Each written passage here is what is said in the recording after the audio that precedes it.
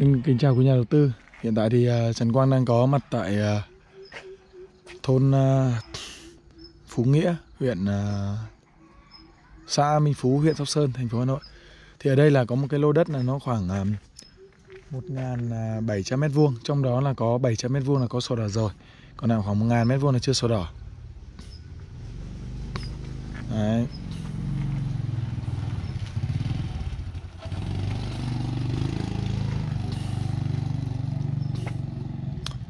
Thì cái lô đất này như quý vị các bạn có thể nhìn thấy trên màn hình ấy, thì cái đường vào của nó thì nó rộng khoảng 5 mét. Đấy, rộng vào khoảng 5 mét, tức là xe tải các thứ nó có thể vào được. Và đây bên cạnh nó có, có các cái kho xưởng này. Thì lô này rất là phù hợp cho anh em nào có đang à, có nhu cầu tìm kiếm làm kho xưởng. Bởi vì đường bê tông, đường điện ba pha cũng như là các cái hạ tầng kỹ thuật của nó đã đã hoàn thiện hết rồi. Lô đất này um, diện tích sổ đỏ được cấp là 685 mét nhé trong đây có 400 mét ở còn lại là đất vườn.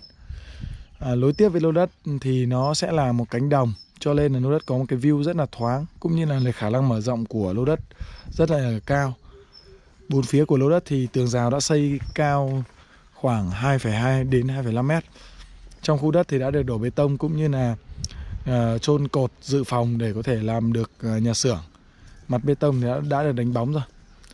Đấy, anh chị em có thể à, nếu mà muốn à, mua làm nhà xưởng thì có thể tận dụng luôn toàn bộ cơ sở hạ tầng này. Phía cuối của đất có một cái ao thì anh em có thể là thả cá ngồi câu những lúc nhàn rỗi.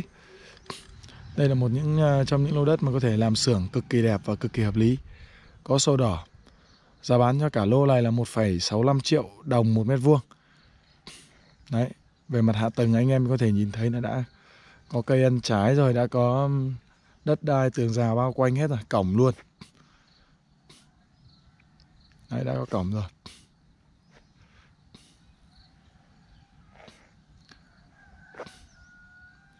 Đấy nền bê tông đã có rồi. Các cái chân trụ bê tông này đường uh, giếng nước này nhà bảo vệ đã có này.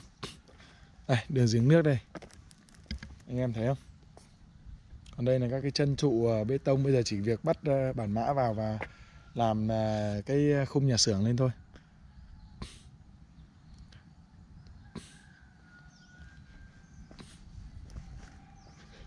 Trên cái lề này thì đã được đánh bóng rồi.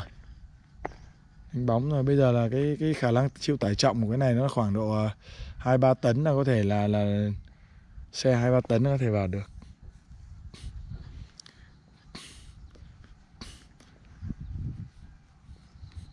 À, xe hai ba mươi tấn quên mất. Rồi anh em mà nào nếu mà có nhu cầu thì liên hệ với đất sâu sơn net nhé.